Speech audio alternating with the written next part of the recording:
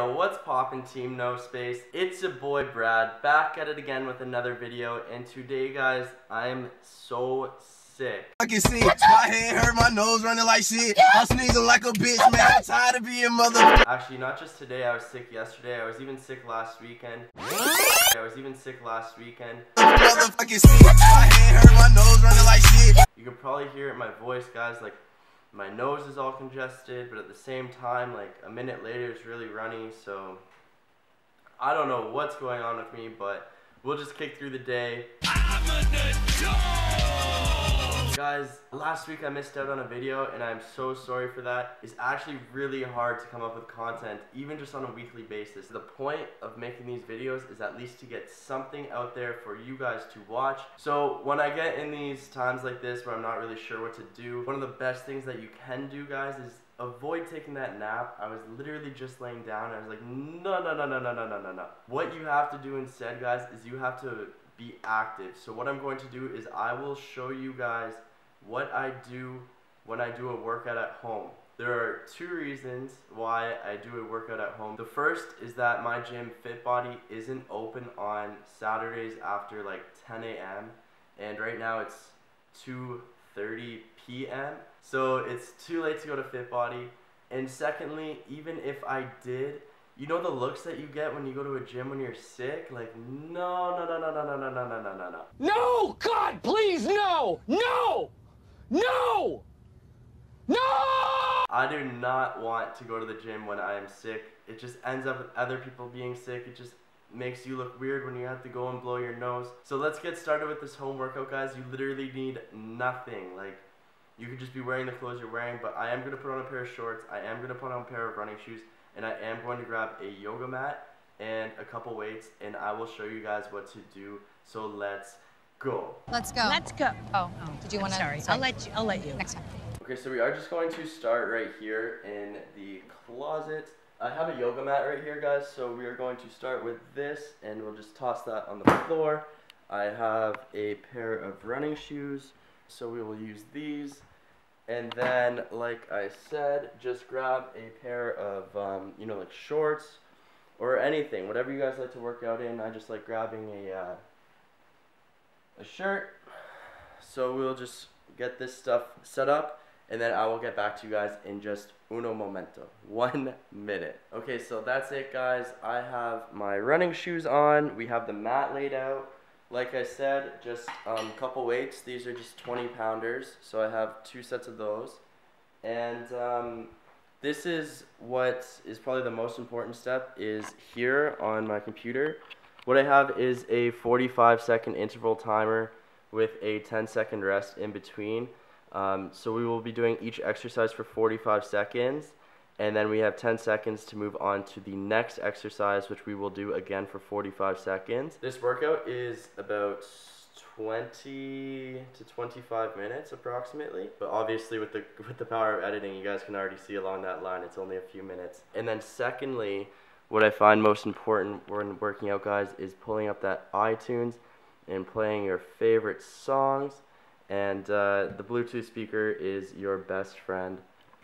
So without further ado, I will set you guys up on a tripod and speak to you and then do the exercise and show you how it works. well, based on this angle, I figure it's probably best just to sit down and talk with you guys. So the first two exercises that we will be doing are push-ups and bent over rows. So push-up guys, it's really, really simple. Everyone's done a push-up before. Just keep a straight back, arms are shoulder width apart, and just down and up. If this is too hard, guys, you can go on your knees. And then the second exercise that we will be doing in this row, like I said, is bent over rows. So this one will require some weights. If you don't want weights, but you want to use the form, you can always just use like a broomstick. I'll show you what to do here.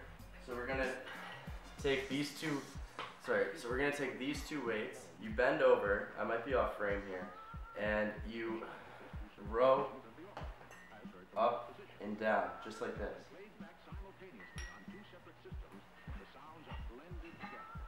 Okay, it's really simple stuff, so I will get to it before we move on to the next exercise. Um, so stay tuned.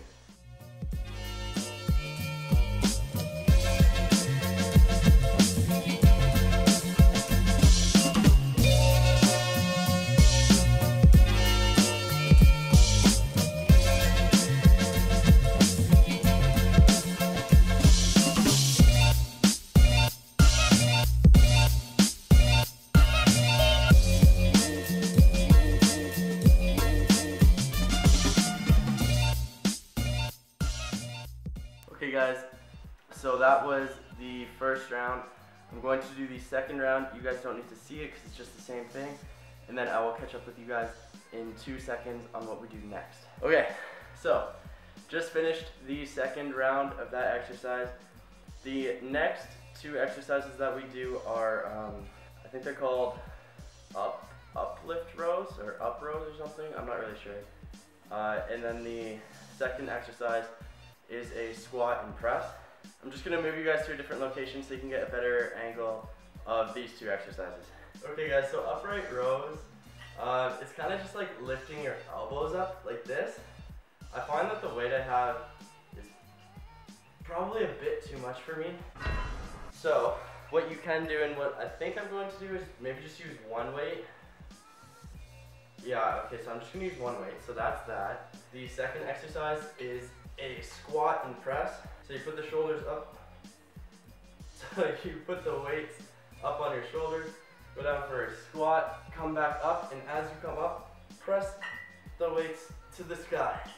I know it's out of frame, but I think you guys understand what I mean. So we are going to get started with that right meow.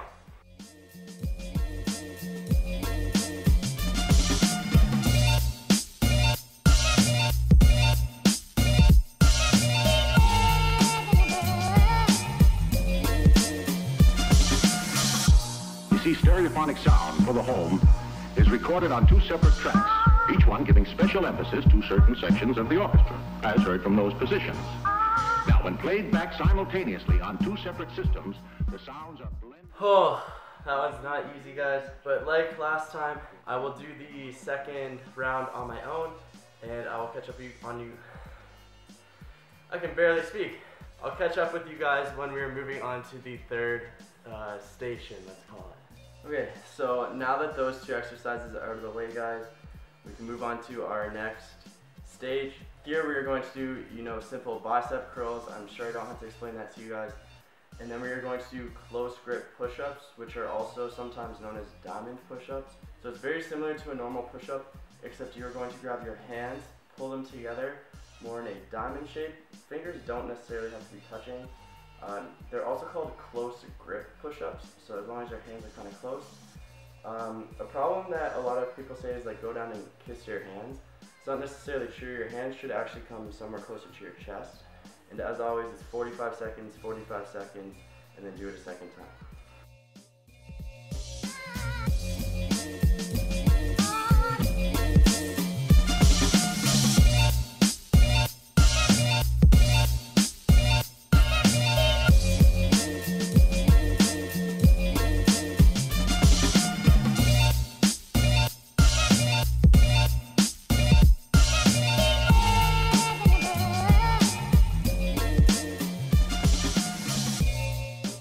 Okay, so that was the first.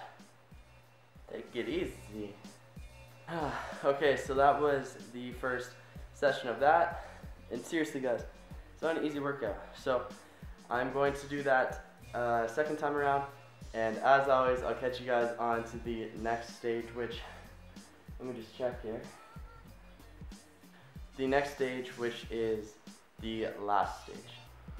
Okay guys, so I just finished that and we are going to move on to our final stage. I really hope that you guys do this at home. Like it actually is, it is an intense workout and it really doesn't take much. The last exercise takes no weights at all. Now we're going to focus on our core because we have our heart rate going. So the first exercise that we're doing are mountain climbers. If you guys haven't done mountain climbers before, you kind of get in a plank position, like a push-up before you go down. And you drive your knees one at a time up to your chest, trying to propel that foot forward. I'll show you guys what that looks like right now.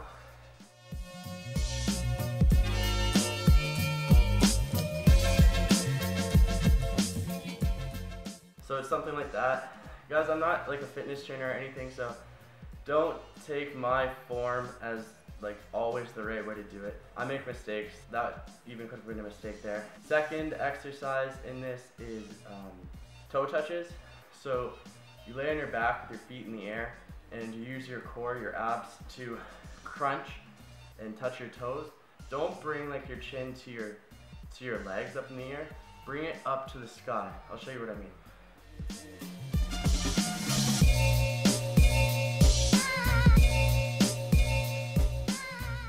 Also, if you guys are like me and you can't fully touch your toes, it's not a big deal. But let's get started with the exercise. Let's go.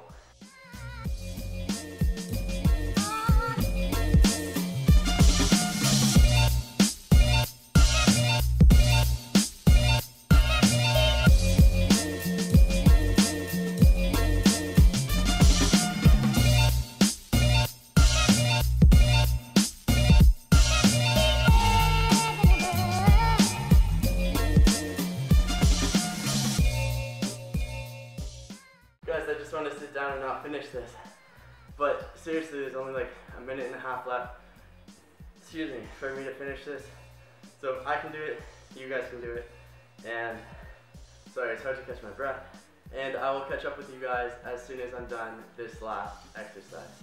Okay guys, so that is actually going to be the end of the workout. Like I said, all it takes is really a pair of running shoes and some weights if that's what you want. You could probably do most of this stuff without weights. Um, there's alternatives to everything that we did today. But basically guys, I don't think I'm going to vlog anything else today. The point of today's vlog was to basically say that if you have nothing to do, there is always some alternative. I wasn't even sure if I was going to film today, but this is what keeps the things going. If you don't do it, no one else will. Let's hear it from Shia himself. Just do it! Yeah, that's what I'm talking about, Shia. Basically, get off your ass. Uh, even if you're sick, guys, I'm sick and I still got up to something. So if you really do appreciate the content that I put out, please go down and smash the like button for today's video. If you want to see what's coming up in the future, please subscribe. And basically, as always, guys, thank you for watching. So take it easy. Peace.